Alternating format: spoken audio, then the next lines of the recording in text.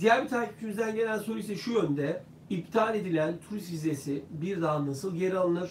5 yılı beklemek zorunda mıyım? Şu anda İstanbul'dayım. Buradan Amerikan vatandaşıyla evlilik yapsam 5 yılı beklemeden Amerika'ya gelebilir miyim diye bu takipçimiz soruyor.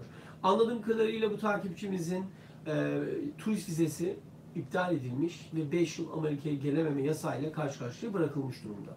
Dolayısıyla ya bu 5 yılın geçmesini bekleyecek ya da bu 5 yıl geçmeden bu 5 yıl bekleme süresinin affedilmesi için başvuru yapması gerekecek. Eğer bu noktada siz Amerikan vatandaşıyla evlenirseniz ve sizin birinci derece yakınınız Amerikan vatandaşı olmuş oluyor ve bundan dolayı size başvuru yapacak yeşil kart için ve bu başvurular sırasında da siz e, bu 5 yıllık yasağınızın kaldırılması için af dosyası yapabileceksiniz.